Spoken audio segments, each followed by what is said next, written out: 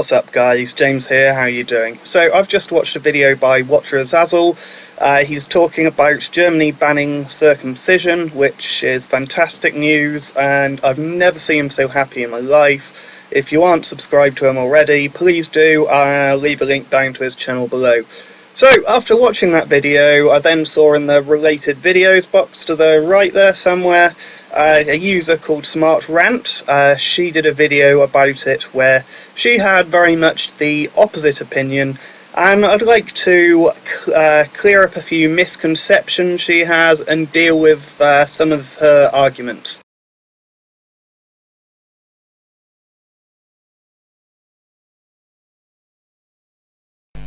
Hey, Bethany Hanna here with our first European themed Smart Rant.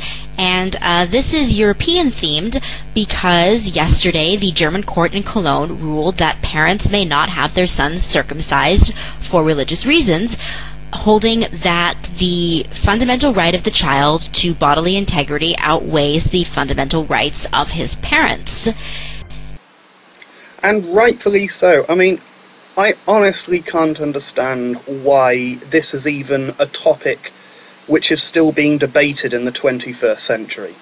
Now, while admittedly unfamiliar with the particulars of German law and the German legal system, I can say that from a policy perspective, this was definitely the wrong way to go. Ruling that the fundamental rights of children outweigh those of their parents was misguided, if not completely nonsensical. Children have fewer rights, privileges, and responsibilities than adults, which means that the rights they do enjoy are subject to increased and more stringent limitations. Children can be required to go to school, to be vaccinated. They can be subject to government and parental imposed curfews, denied driving privileges, and prevented from purchasing whiskey. For a government to impose these kinds of restrictions on adults, though, would be a violation of their rights, potentially. And this makes sense. While I'm obviously unsure of the specifics on how this works in Germany, in most Western countries, generally children belong to their parents or they belong to the state. They are recognized as being less capable of taking care of themselves than adults, and as they have fewer responsibilities, they also enjoy fewer rights and freedoms. Now, those laws are there to protect uh, society and to protect children. Yes, you're right that children are less mentally developed, and for that reason, um, they aren't given the same freedoms because they don't have the capacity to understand the con consequences of their actions necessarily. So those laws are there to protect children and protect society. Now, children don't belong to their parents. They're not an item like this lighter, which I can choose to just smash the crap out of if I wanted, um, because I just felt like it.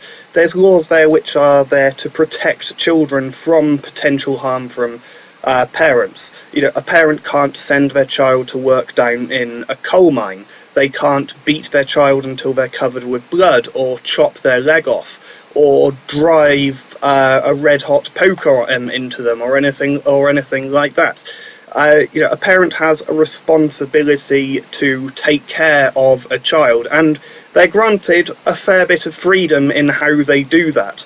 But something which is, uh, but there's limitations based on harm which are uh, which are imposed, and you know, regardless of someone's religious inclinations, um, that that should not even come into it. If a child beats, if a parent beats their child until they're covered in blood, it doesn't matter whether or not the child's trying to drive the demons out of them, or whether or not they're just a cunt. Uh, their consequent, um, the legal consequence of it should be exactly the same. And genital mutilation of a baby uh, quite frankly, is, um, should be completely illegal.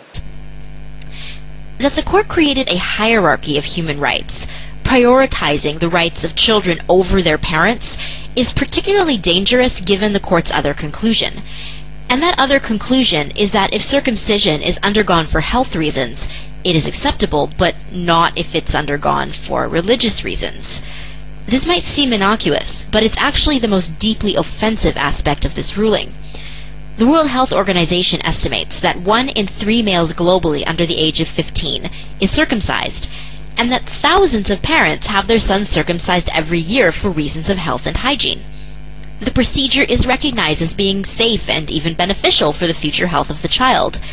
See, what the German court is really saying is that circumcision only causes grievous bodily harm when it is performed as part of a religious ceremony. This punishes not the act itself, but the belief behind the act, and it uses the language of human rights to justify its thought policing. Now, the doctor at the center of this case had performed a circumcision on a four-year-old Muslim boy at the request of his parents for religious reasons, after he began after which he began bleeding heavily.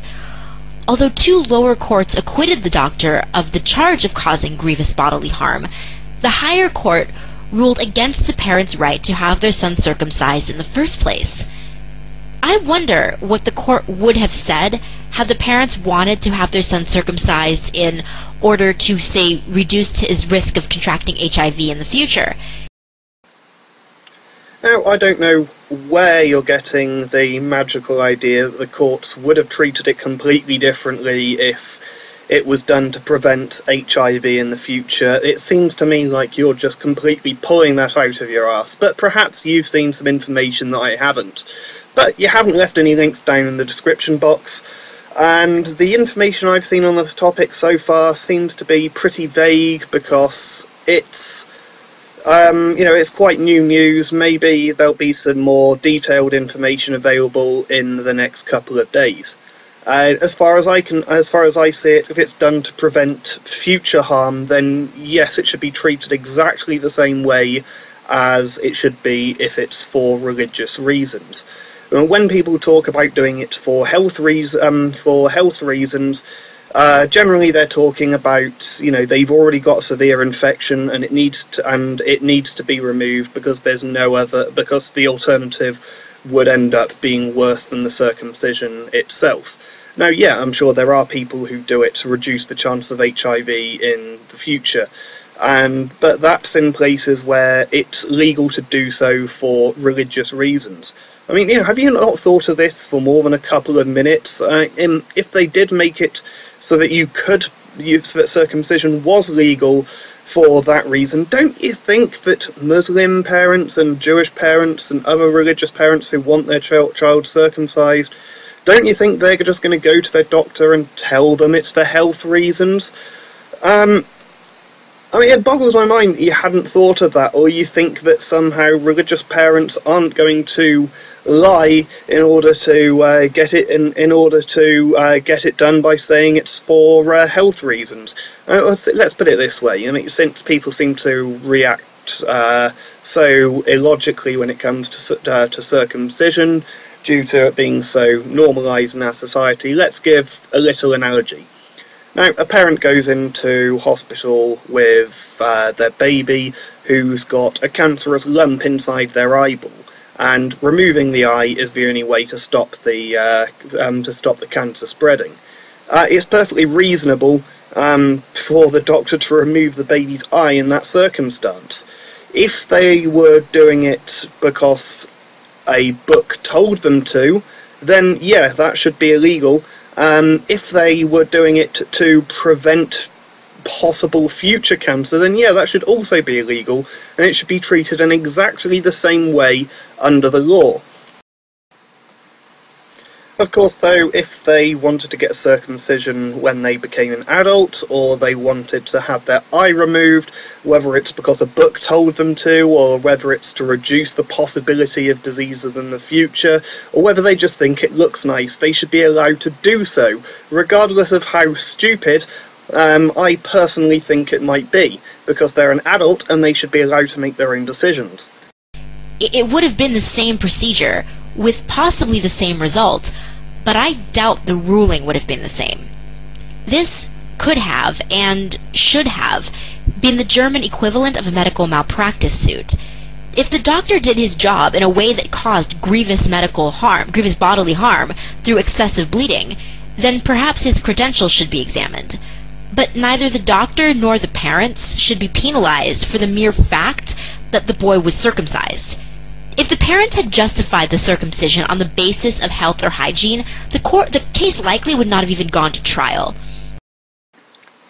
Now, to some degree, I do kind of agree with you. In an area where circumci- circumcision is legal, the doctor shouldn't be sued for performing the procedure. Then the legal system itself is what should be challenged. But, you know, I really do think that you're just pulling it out of your ass when you think that uh, the courts would have treated it differently if it was uh, for non religious reasons. Uh, you do make it quite clear later in your video that you think that the Germans are anti Semitic and Islamophobic, which is pretty hypocritical, really. But the fact that it did means that the issue is not with the procedure itself, but with the reasons for undergoing it. Court would turn on its head a long standing and well understood legal distinction between the rights of adults and the rights of children speaks to the astonishing degree to which the court did, in fact, aim to restrict religious liberty clearly then you don't get the uh, concept that my rights end where your rights begin. My right to punch ends where your face is. Um, you know, it's it's not an attack on religious liberty. People are still perfectly entitled to believe whatever they want to believe, no matter how ridiculous other people may think it is. People can still dress however they want and sit down, pray, or do any of that stuff they want to do, but if it harms another person in the process, then they shouldn't be allowed to do it. Um, and yeah, um, things like that have been challenged quite a lot when it comes to children over the years. We're no longer allowed to send children down coal mines. Um, there's tighter restrictions on how much a parent can beat their child in uh, in most countries, and you know parents are, going, are more likely to be prosecuted for harming their child. It's not a religious attack; it's because circumcision harms the child. I just want to add that I've been reading news articles where in the comment section people ask questions about female circumcision and try to draw comparisons. There is absolutely no parallel between circumcision and clitorectomy. Female genital mutilation, FGM, is not circumcision, and not because it happens to females. FGM not only has no benefits, but it also poses severe risks to the health and safety of women and young girls all over the developing world. That could be the topic of a future rant, but I just want to add quickly that the rationale for eradicating FGM is to protect young girls and women from a dangerous and sometimes deadly procedure.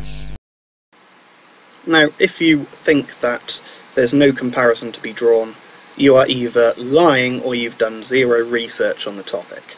Um, there's this common misconception in the Western world that um, female circumcision is the complete removal of the clitoral hood, the labia minora, and the labia majora. That is one form of uh, female circumcision, the most severe form, and of course that is a lot more harmful than the male equivalent. But there's also for, um, there's also forms which are a lot less severe, such as uh, pricking the clitoris with a pin, um, and there's also versions which are um, pretty much um, the same. There's the removal of the clitoral hood, which is pretty much a perfect analogue to the male version, but of course that removes far less tissue. Rightfully so, all the female forms of circumcision are illegal in uh, all of the Western world as far as I'm aware. And, you know, I'd just like to see the same thing applied to uh, baby boys. Now, male circumcision can cause a lot of harm. There is a case where a baby screamed themselves to death and their lung collapsed while they were having um, while they had a circumcision performed on them. Uh, there was a boy who had their penis burnt off during a circumcision. Uh, there's all sorts of risks of complications. Um, you mentioned one in your video. Uh, there's infections which can take place. I'll leave a few links to um, information about that kind of stuff below. And also, I'm going to link to a video of a circumcision um, being performed. And I, when I tried to watch it, I couldn't make it through the whole video. The baby was clearly in that much pain. It was, it was hard for me to watch and I couldn't even imagine what that baby was going through. The fact that it's performed as part of a rite of passage is not the reason for trying to eliminate the procedure. Indeed, the cultural and religious aspects of the practice cause a lot of human rights activists to be extra sensitive when working on this issue. And people aren't trying to uh, get circumcision banned because they don't like the Jewish rites of passage. That is complete nonsense. They're doing it because it causes harm to children, just as female circumcision causes harm to children. In the Western world, there's quite a bit of propaganda about the health benefits of circumcision, but believe it or not, people make the same arguments, exactly the same arguments, for female circumcision in some places. I'll leave a link to a video down below which advocates female circumcision, and yeah, it's complete bullshit, just like all of the health benefit and um, health benefit arguments for male circumcision. And I'll leave a few links below to uh, debunk uh, some of the myth, um, some of those myths as well. Um, but yeah, it has been done for exactly the same reasons. The reasoning of the German court, however, was not rooted in protecting the right to health of the individual through the regulation of a medical procedure, equally on religious or non religious grounds. Instead, the procedure is only illegal if the parents request it for religious reasons. The objective safety of circumcision wasn't really at issue. The beliefs of the parents were what the court examined and decided to regulate, and that is not okay. And furthermore, Judge Holm Putzki, please excuse my terrible pronunciation, said that unlike many politicians, the court has not allowed itself to be scared off by charges of anti Semitism or religious intolerance. Now, I don't know about you, but scared off sounds kind of reactionary to me and indicates that anti-Semitism and or religious intolerance were at a minimum underlying themes and at a maximum fundamental issues in this case. Now again, I think you're just clutching at straws here, I really do. Uh, would you be making that same argument if somebody who stood up against female circumcision was saying that they're not going to be scared off by um, uh, by Muslims. Would you be calling them and um, them Islamophobic for making that argument? Somehow, I seriously doubt it. I just don't really get why the German court felt the need or thought it was a good idea to stick its collective middle finger at Germany's Jewish and Muslim populations. I mean, does Germany really want to be arbitrarily restricting the non harmful practices of its religious minorities?